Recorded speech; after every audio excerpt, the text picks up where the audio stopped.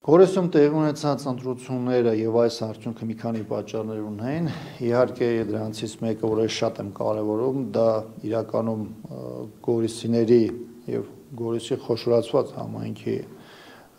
մեր հայրենակիցների պատասխաններ այս իշխանությունների անվտանգության ոլորտում իրականացրած քաղաքականության,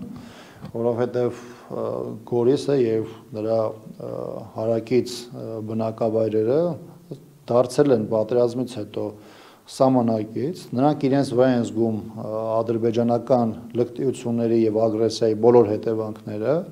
բնականաբար մեր այնակիցներին չի բավարարում իշխանության ոչ խոստումները, բայց ոչ էլ այդ ուղղությամբ 1-2 իրականացած քայլերը, որոնք որևէ ձևով չեն կարող բավարար լինել եւ իրավիճակը այն է, որ ունենք այսպիսի արդյունքներ։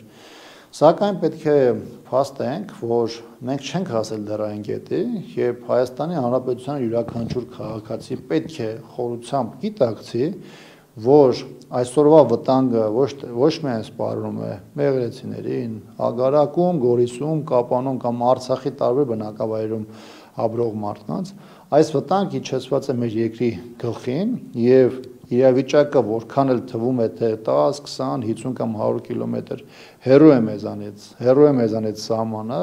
դա որևէ ձևով խոչընդոտ չէ, հատկապես ժամանակակից պայմաններում դառնալ կարճ ժամանակում թիրախ եւ դառնալ ադրբեջանական ագրեսիայի զոհ